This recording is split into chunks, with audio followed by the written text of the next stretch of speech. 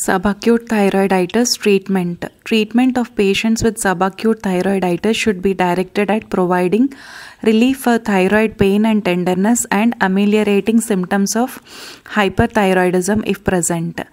Thyroid function test should be monitored every 2 to 8 weeks to confirm resolution of hyperthyroidism, detection of hypothyroidism, and subsequent normalization of thyroid function.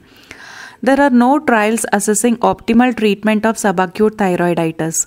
Treatment recommendations are based upon observational data and clinical experience. Pain management. Some patients need no treatment because their symptoms are mild or are subsiding by the time they seek medical attention and the diagnosis is established.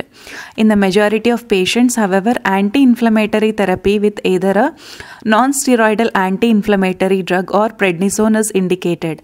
A reasonable approach is to start with acetyl salicylic acid, aspirin, 2600 mg daily or an NSAID naproxen 500 to 1000 mg daily in two divided doses or ibuprofen 1200 to 3200 mg daily in three or four divided doses.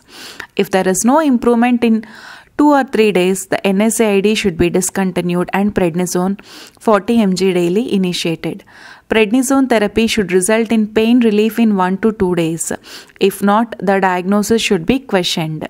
In patients with severe pain, prednisone is a reasonable first line therapy.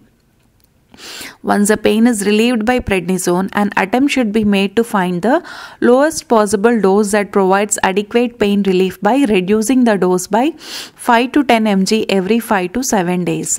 Should pain reoccur, increase to the prior dose and maintain that dose for approximately 2 weeks and attempt to taper again.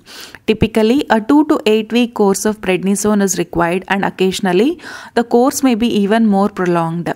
NSAIDs and prednisone can cause a variety of systemic symptoms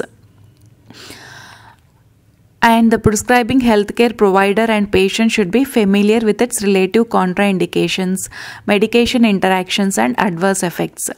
Although symptomatic relief is achieved with corticosteroid therapy, it does not prevent early and late onset thyroid dysfunction.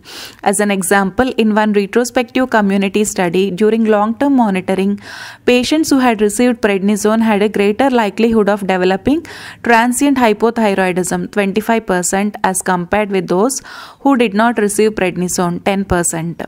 Corticosteroid therapy may be associated with shorter overall disease duration. Management of symptomatic hyperthyroidism. Therapy for hyperthyroidism is not often needed because symptoms, if present, are mild and short lived. Those few patients who have bothersome symptoms of hyperthyroidism, such as palpitations, anxiety, or tremor, may benefit from treatment with a beta blocker, such as 40 to 120 mg propranolol or 25 to 50 mg atenolol daily for a few weeks while they are thyrotoxic. Thionamide should not be used because hyperthyroidism is not caused by excess thyroid hormone synthesis. Radioactive iodine therapy is neither effective nor indicated because the uptake of radioiodine is very low and the disease is usually self limiting. Management of hypothyroidism. Therapy for hypothyroidism is not often needed because symptoms, if present, are usually mild and short lived. However, if the hypothyroidism is more pronounced, TSH greater than 10 MU, uh, milliunits per liter or associated with more than mild symptoms, the patient should be treated with 50 or 100 micrograms of T4 levothyroxine for 6 to 8 weeks with a goal TSH in the normal range.